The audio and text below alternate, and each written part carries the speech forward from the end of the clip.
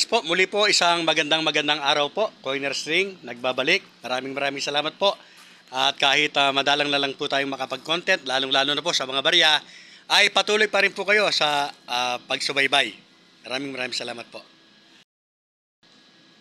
At ah, yes po, ang content ko po sa araw na ito, yung nga po, ah, magkukomento lang ng konti doon po sa pagdalaw po ni Sir Dagul ah, kay Boss Toyo.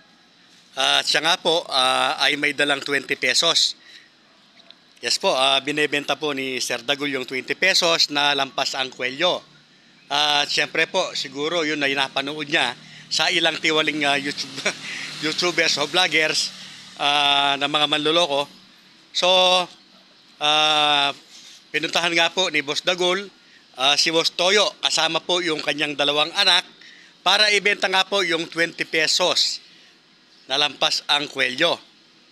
At ah, yun nga po, ah, napakagalang po na sinagot ni Boss Toyo na wala pong katotohanan na yung 20 pesos na lampas ang kwelyo ay ah, may added value.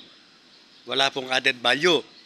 Ah, dahil nga po sa napakabait naman ni Boss Toyo ay ah, binigyan po ng regalo ah, si Dagul.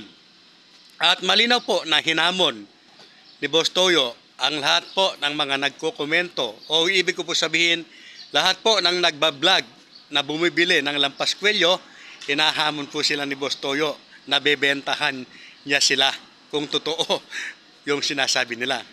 So ako po bilang isang ah, legit na coin vlogger at ah, coin collector ay lubos po na nagpapasalamat kay Boss Toyo Ah, dahil po sa napakalawak ng nararating po ng mga content ni Boss Toyo ay tiyak po na marami ang ah, magigising sa katotohanan lalong-lalo na po yung mga nagbabas sa amin na mga tunay na coin collector at coin vlogger Ah, binabas po tayo kapag tinutiligsa natin at sinasabing walang katotohanan yon. mga dami po yan. Yan po ay mga ah, kasama din ng mga vlogger na yan. So muli po, ang ah, coin community, Boss Toyo ay sumasaludo po sa inyo. Kasama na po ang asawa mo.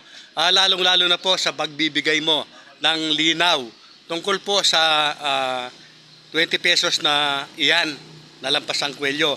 Napatuloy pa rin po at paulit-ulit na ginagawa po, lalong-lalo na po ng isang ah, coin vlogger. Kuno, na bagamat ah, mayroon na siyang hinahalo ngayon, bumibili na siya ng mga rare, bumibili na rin siya ng mga collectible coins, pero ni minsan po ay hindi ko pa siya nakita na may nabili siya, puro mga 20 pesos po. Muli po, ang 20 pesos po na lampas ang kwelyo ay ginagamit lamang po ng mga pagsamantalang tao para po sila ay makapanloko at kumita. Yes po, hindi po sila talaga tumutulong. Ang tunay po na tumutulong, kagaya po ng ginawa ni Boss Toyo, bukod sa pinaliwanag po niya kay Sir Dagul na walang katotohanan na may added value ang kanyang 20 pesos, subalit binigyan pa rin po niya iyon. At nilinaw niya na hindi niya binibili yung 20 pesos na ah, lampas nga ang kwelyo.